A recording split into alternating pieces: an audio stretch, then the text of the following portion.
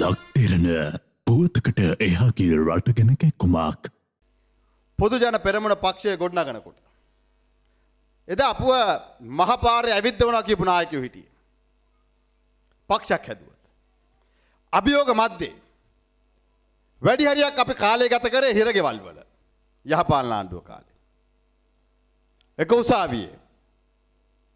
ඒ සියලු අභියෝග මධ්‍ය අපි පක්ෂය ගොඩ නැගුවේ.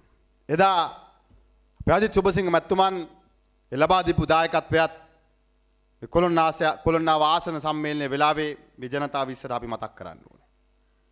අපේ ආදරේ අම්මේ තාත්තේ. අපි දේශපාලන බලවේගයක් විදියට ඉතාමත් කෙටි කාලයක් තුල මේ රටේ තීරණාත්මක මැතිවරණ අපි ජයග්‍රහණය කෙරුවා. ප්‍රාදේශ සභා මැතිවරණයෙන් පටන් ගත්තම ජනාධිපතිවරණය හැටනම ලක්ෂින් අපි ජයග්‍රහණය කරා. ඒ වගේම පාර්ලිමේන්තු මැතිවරණය අපි ජයග්‍රහණය කරා. එදා ඔබ මහ බලාපොරොත්තු ඇතිව තමයි ගෝඨාභය රාජපක්ෂ මැතිතුමාව ජයග්‍රහණය කරේ. මොකද ඔබ දැකලා තිබ්බේ ඔබ අහලා තිබ්බේ ඔබට පුරුද්ද තිබ්බේ මහින්ද රාජපක්ෂ ජනාධිපතිතුමාගේ පාලන කාලේ. එදා වෙච්ච සංවර්ධනය. එදා මේ රටේ අහිංසක ජනතාවගේ ජීවිත උසස් කරවන්න. ගත් උත්සාහය පිළිබඳව ඔබට තක්සේරුවක් තිබ්බා. මම LTT ක්‍රස්තවාදය අවසන් කිරීම ගැන කතා කරන්නේ නෑ.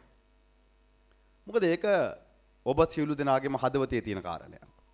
ඒ වගේම තමයි විපක්ෂය අපට චෝදනා කරන්නේ අනිත් දේශපාලන පක්ෂ අපට චෝදනා කරන්නේ ප්‍රදීප් පුදුගොඩ මැතිතුමා ඉන්නවා. අපට චෝදනා කරන්නේ ඇයි අපි මේ යුද්ධ ගැන පමණක් කතා කරන්නේ. එහෙමනේ කියන්නේ. වෙන කියන දෙයක් නැද්ද කියලා අහනවා. එහෙනම් අපි යුද්ධ කියන කාරණේ පැත්තක තියමු. හැබැයි සංවර්ධනය කියන කාරණයට අපි යමු. මෙරටේ ආර්ථික වර්ධන වේගය ලෝකයේ චීනට පමණක් දෙවැනි ආර්ථික වර්ධන වේගයකට අරගෙන ගියේ කවුද? කොළඹ දිස්ත්‍රික්කයෙන් රාජ්‍ය නායකයෝ බිහි වුණේ. මහින්ද මහත්තයා අපි කොළඹින් නෙවෙයි. ඒකනේ අපිට බයෝ කියලා කියන්නේ. අපි කොළඹ නෙවෙයි. අපි ගමේ මැද මුල්ලනේ. හැබැයි කොළඹ දිස්ත්‍රික්කයේ සංවර්ධනය කරේ මොන කාලෙද? රණසිංහ ප්‍රේමදාස මහත්තයා.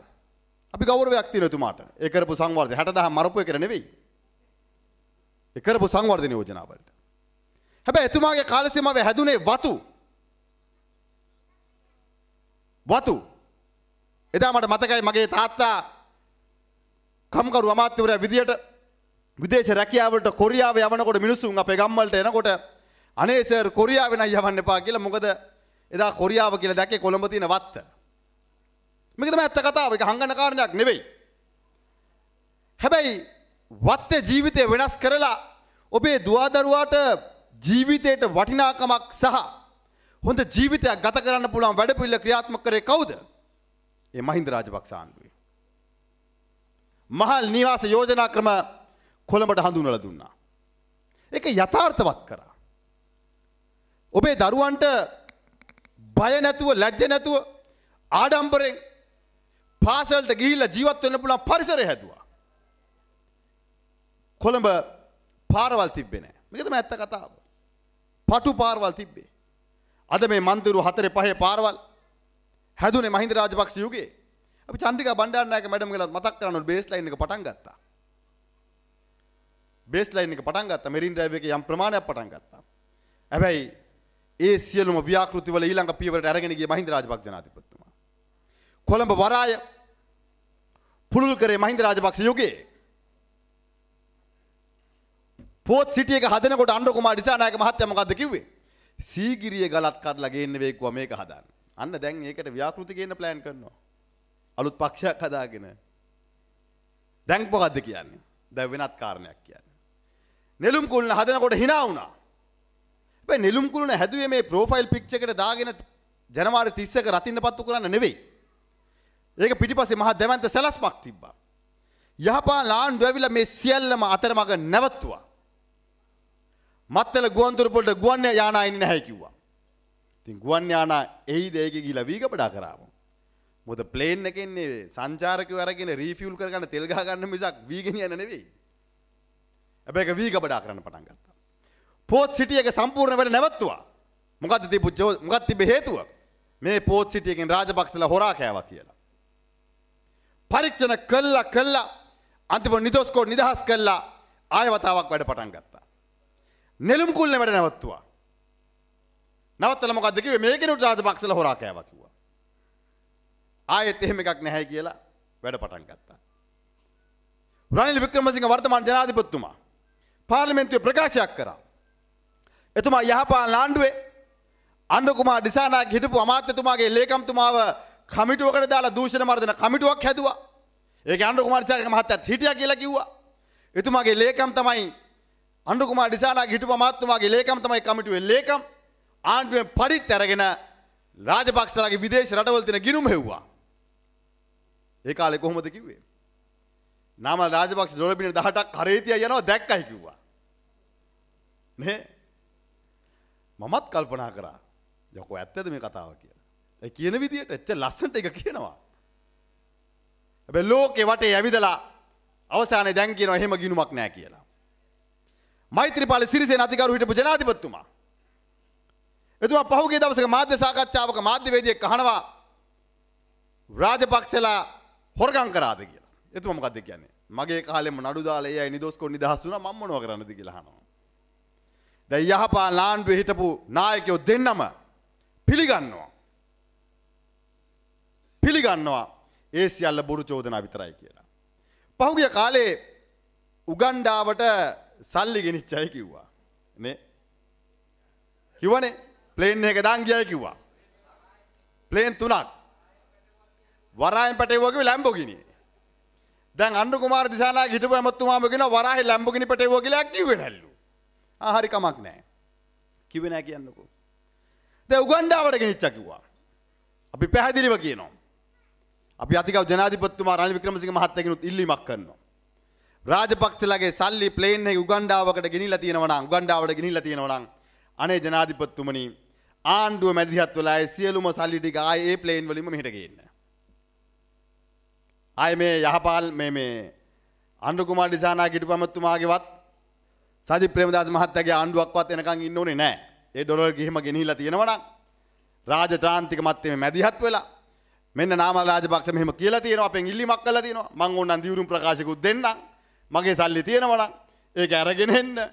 අරන් ඇවිල්ලා ඒකට IMF එක පස්සේ කියලා මේ තියෙන ආයතන ඔක්කොම විකුණන්න ඕනෙත් නැහැ ඔවුන් මොකද්ද කරේ? තනිකර ජනතාව තුල ඉරිසියාව ගොඩ නැගුවා. වෛරය හැදුවා පාට්ලි චම්පික රණවක ඇමතුමා පහුගිය කාලේ මාධ්‍යර ඇවිල්ලා කිව්වා අර ඉලිසිට් ෆ්‍රෝජුලන් රිපෝට් එකක් ගැන ෆන් රිපෝට් එකක් ගැන නීති නෛත්‍යානුකූල මාර්ගයෙන් නොමැතිව ලංකාවෙන් පිටවෙච්ච සල්ලි රාජපක්ෂ ආණ්ඩුවෙන් ඩොලර් බිලියන 18ක් 19ක් කියලා. හැබැයි එතුමාගේ ඉතුරු කෑල්ල කිව්වේ නැහැ. ඒ වාර්තා විතුරු කෑල්ල කිව්වේ නැහැ. මොකද ඉතුරු කෑල්ල? යහපාලන ආණ්ඩුව කාලෙත් ගිහිලා තියෙනවා. දල වශයෙන් අවුරුද්දකට බිලියන 4ක් ලංකාවෙන් එහෙම පිට වෙනවා. ඒ පිට වෙන්නේ ආණ්ඩුවෙන් එහෙම නෙවෙයි පෞද්ගලික අංශයෙන්. බැංකු පද්ධතියෙන්තර උන්ඩියාල් ක්‍රම වලින් අන්ඩර් ඉන්වොයිස් කළා යවන මුදල්. ඉන්දියාවේ දල වශයෙන් ඒ වාර්තා වනු අවුරුද්දකට බිලියන 50ක් එහෙම පිට වෙනවා. දැන් ඉන්දියාවෙත් තියෙන රාජපක්ෂලාද? නේ? දැන් ඉන්දියාවෙත් තියෙන රාජපක්ෂලාද? බෑ හොඳම දේ මහින්ද රාජපක්ෂ ආණ්ඩුවේ චම්පි කැමතුමා හිටියා. සිරිසේන ජනාධිපතිතුමාගේ ආණ්ඩුවේ චම්පි කැමතුමා හිටියා. ඒ කාල සීමා දෙකේම එහෙම ගිහිලා තියෙනවා. අදටත් යනවා. හැබැයි මොකද්ද කරේ උත්සාහ කරේ මම හිතනවා චම්පි කරනව කැමතුමා කියන්නේ මෝඩයෙක් නෙවෙයි. මට එතුමාට යම් ගෞරවයක් තියෙනවා මගේ තාත්තා කැබිනට් එකේ හිටියා. විශාල වැඩ කොටසක් කෙරුවා. අපිට කොතරම් බැන්නත් ඒ ගෞරවය අපේ හිතේ තියෙනවා. අපි අපේ හැටි එහෙමයි. හැබැයි ඒ ප්‍රකාශයට මූලික පදනම තමයි වෛරය ඇති කරන එක. වෛරය ඇති කරන එක. ඔවුන්ට ඒත්තු ගන්නන්න ඕන මිනිස්සුන්ට රාජපක්ෂලා බිලියන 18ක් ගිලා ගිලලා බිලියන 18ක් හොරගම් කළා කියලා. දැන් පහුගිය කාලේ ණයබර ගැන කතා කරා. අන්ඩු කුමාර දිසානායක හිටපු අමාත්‍යතුමා පහුගිය කාලේ මාධ්‍ය කියනවා රාජපක්ෂලා අරන් තියෙන්නේ බිලියන 3.5යි ISB ණය. යුද්ධ කරන්න, වරාය හදන්න, පාරවල් හදන්න මේ සියල්ලම කරන්න. හැබැයි යහපාලන ආණ්ඩුවෙන් බිලියන 12ක් අරගෙන තියෙනවා කියනවා. බිලියන 12ක්. දැන් මොකක්ද මේ බිලියන 12ට කෙරුවේ කියලා එතුමාම අහනවා. දැන් රට ණය බරෙන් වැඩි කරලා තියෙන්නේ මහින්ද රාජපක්ෂ ආණ්ඩුවද යහපාලන ආණ්ඩුවද. මොන ආණ්ඩුවද. යහපාලන ආණ්ඩුව. හැබැයි ගෝටබේ රාජපක්ෂ ආණ්ඩුව වට්ටන්න කුමන්තන කරුවන් විසින් නිර්මාණය කරපු තවත් එක බොරුවක් තමයි ඔය කාරණය. එහින්ද මගේ ආදරය අම්මේ තාත්තේ බොරුවෙන් ආණ්ඩු පෙරලලා ආණ්ඩු ලබා ගත්තත් ඒ ආණ්ඩුවලට වැඩි කල් දුවන්න බෑ. අපි දැක්ක යහපාලන ආණ්ඩුවට වෙච්ච දේ. යහපාලන ආණ්ඩුවට වෙච්ච දේ අපි දැක්කා. අපි පක්ෂයක් විදිහට විශ්වාස කරනවා. මේ රටේ දේශීයත්වය අපි ආරක්ෂා කරන්න ඕනේ. අපේකම අපි රකින්න ඕනේ. රාජ්‍ය ආයතන ලාභ ලබන ආයතන බඩ අපි පත් කරන්න ඕනේ. ඒවට ආයෝජන අපි ගේන්නත් ඕනේ. ඒවට ආයෝජන අපි ගේන්න ඕනේ. හැබැයි අපි ගිවිසුම් ගත වෙනකොට මේ රටට අහිත කර ගිවිසුම් වලට අපි නොයා යුතුයි කියලා අපි දැඩිසේ විශ්වාස කරනවා. හම්බන්තොට වරාය හොඳ මුදාහරණය. අපි හම්බන්තොට වරායට ආයෝජන ගේනකොට අපි කවදාවත් විරුද්ධ වුණේ නැහැ. හැබැයි වරාය විකුණන්න ගතු ගිවිසුමත් එක්ක තමයි අපිට ප්‍රශ්නේ තියෙන්නේ. අපි අපේ ස්ථාවරය අදරත් අපි ඉන්නවා. ජාත්‍යන්තර ගිවිසුමකට එළඹුණාට පස්සේ පහු කාලේ ගිවිසුම වෙනස් කරන්න බෑ. දැන් සජිත් ප්‍රේමදාස මහත්තයා කියනවා එයා බලයටම IMF එක වෙනස් කරනවා. ඒක වෙනස් කරන්න බෑ. ඒ බොරු කතා. එයාගේ යාළුවන්ට කතා කරලා තෙල් ඉල්ල ගන්නවලු. එහෙම ඉල්ල ගන්නත් බෑ. ආ ඉංග්‍රීසියෙන්. ඩික්ෂනරියකුත් දෙන්න වෙනවා. අපේ ගමේ ෂෙඩ් එකේ මාමගෙන් තෙල් ඉල්ල ගන්නවා වගේ එහෙම ඉල්ල ගන්න බෑ. රාජ්‍ය යාන්ත්‍රණයේ රාජ්‍ය පාලනයේ ක්‍රමවේදයක් තියෙනවා. ඒකට තමයි නායකයෝ පත් වෙන්නේ. ඒකට තමයි ආණ්ඩු තියෙන්නේ. අද ගෝලීය දේශපාලන හැසිරීම පිළිබඳව අපි අවබෝධයෙන් කටයුතු කරන්න ඕනේ. අද ගෝලීය දේශපාලනය සම්පූර්ණයෙන් වෙනස් වෙලා.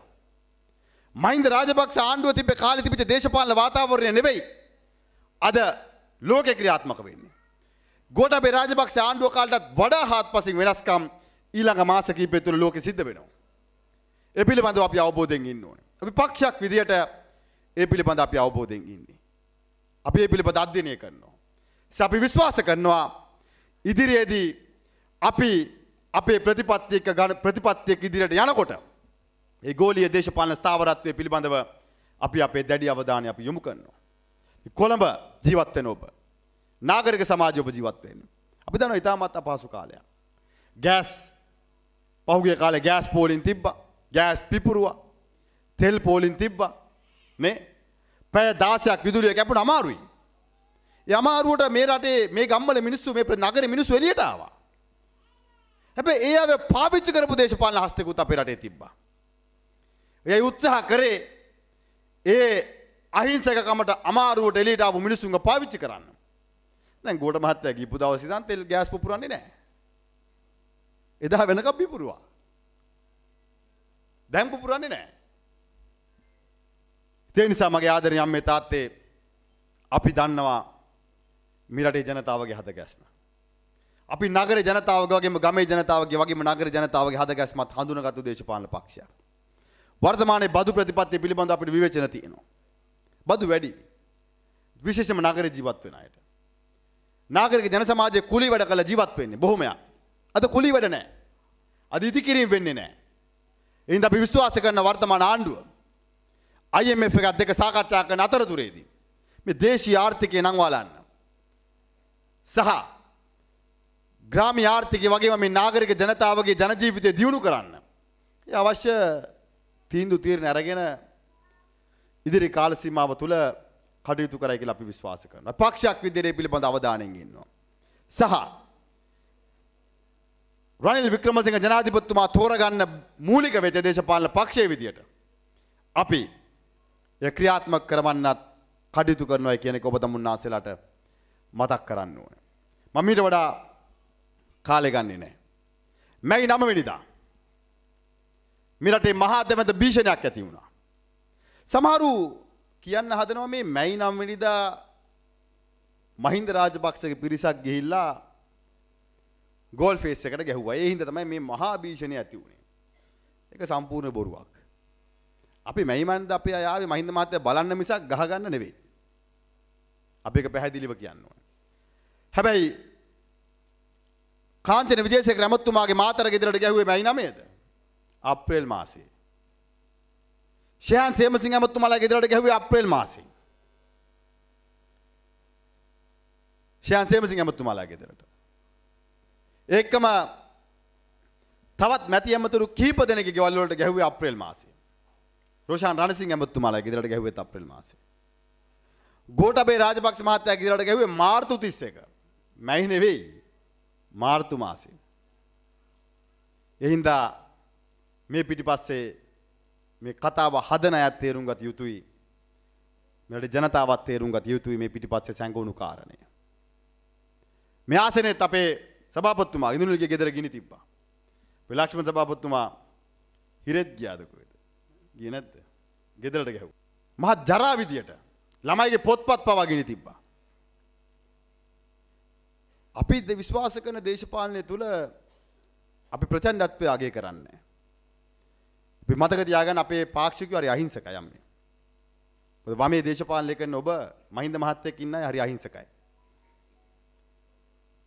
අපේ අයගේ ඉවසීමේ කට්ටේ සීමාවකුත් තියෙනවා. හැබැයි අපි උපරිම ඉවසනවා. නේ අජිත්? නේද? අපි උපරිම ඉවසනවා. මොකද අපි කැමති නෑ ප්‍රචණ්ඩත්වයට. මහින්ද රාජපක්ෂ මහත්තයා තමයි මේ දේශපාලනයේ තිබිච්ච ප්‍රචණ්ඩත්වය අයින් කෙරුවේ. 2015. මේ වැඩිහිටියෝ දන්නවා ඇති ඉස්සර ID කාඩ් එක ඕනේ නැහැ ඡන්දේ දාන්න. ඉස්සර ID කාඩ් එක ගෙනියන්න ඕනේ නැහැ ඡන්දේ දාන්න. පෝලිං බූත් එකේ එක්කෙනා තමයි මාක් කරන්නේ ගිහින් දාලා එනවා කවුද කියලා දන්නේ නැහැ සමහරුන්ගේ යනකොට ඡන්දේ දාලා ඉවරයි. නේ? ආ පෙට්ටි පුරවල උදේ 9ට ඇරියම 9 කාලේ පෙට්ටි පුරවල ඉවරයි. මහින්ද මහත්තයා තමයි යුගය වෙනස් කරේ. මහින්ද රාජපක්ෂ මහත්තයා තමයි ID කාඩ් එක අනිවාර්ය කරේ. මොකද එතුමා විශ්වාස කරා ඡන්ද මධ්‍යස්ථානයේ වැඩියෙන්ම ගුටි කෙලියන්නේ මේ ප්‍රශ්න එක්ක. වැඩියෙන්ම ප්‍රශ්න ඇති වෙන්නේ ඒකත් එක්ක. එතුමා ඒක වෙනස් කරා. ඉතින් අපේ දේශපාලන පක්ෂය කවදාවත් අපි ප්‍රචණ්ඩත්වයට යන්නේ නැහැ. අපි විශ්වාස කරන්නේ අපේ ප්‍රතිපත්ති, අපේ සංවර්ධනය, රට ගොඩන ගන්න ඕනේ. සහ පාක්ෂිකයෝ අපි ආරක්ෂා කරගන්න ඕනේ. ඒ හින්දා මගේ ආදරේ අම්මේ තාත්තේ කොළොන්නාවේ ඔබට මම ස්තුතිවන්ත වෙනවා.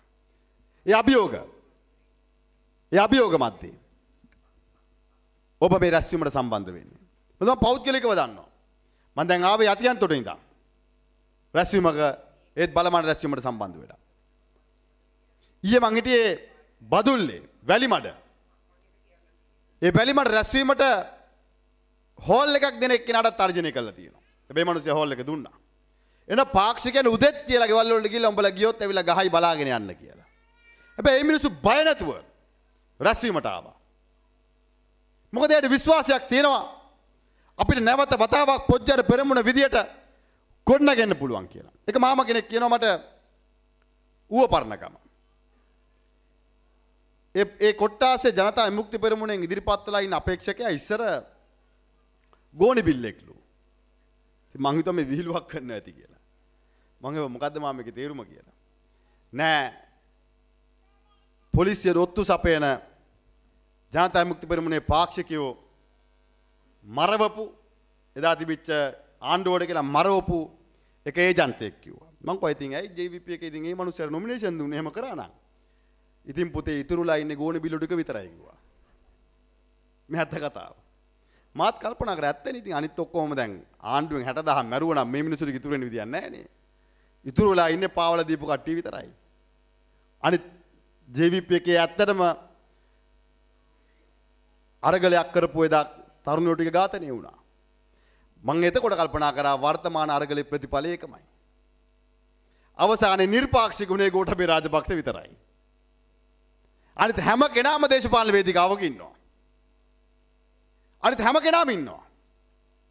හැබැයි හැමෝම නොදනුවත්වම තවත් පාර්ශවයක ඉත්තෝ විතරයි. මේක තමයි ඒ අය පිළිගන්න කැමති නැති හැමෝම දන්න ඒ අයගේ හදවතත් දන්න යථාර්ථය. එහින්ද මගේ ආදරය අම්මේ තාත්තේ සහෝදරයා සහෝදරිය ම හදවතින්ම ඔබට ස්තුතිවන්ත වෙනවා. පැසි සුපසිංහ මැත්තුම ඇතුළු මේ ආසනේ සියලුම දෙනාට සාපිට විස් දැඩි දැඩි විශ්වාසයක් තියෙනවා ඉදිරියේදී. අපි නම් ලෑස්ති වෙන්නේ ප්‍රාදේශ සභා මැතිවරණයට සමහරු ලෑස්ති වෙනවා ජනාධිපතිවරණයට අපේක්ෂක හොයනවා. තවත් සමහරු ලෑස්ති වෙනවා පාර්ලිමේන්තු ඡන්දෙට. මොකද අපි ප්‍රාදේශ සභාවට ලෑස්ති වෙලා ඉන්නේ ඉතින් විසුරුලා තියෙන ප්‍රාදේශ සභාව. දැන් ප්‍රාදේශ සභාව විසුරුප්පගේ සන්දේ තියන සල්ලි නැත්තම් ජනාධිපතිවරණයක් කොහොමද තියන්න බෑනේ. නේ? තවත් සමහරු පළාත් සභාවට ලෑස්ති වෙනවා දේශපාලන පක්ෂවල අය ජනාධිපතිවරු දැන් ඇඳුම් මහගෙන ඉන්නවා. ඒවා අඳිනවා ඒවා අඩු වැඩි වශයෙන් වෙනස් කරගන්නවා.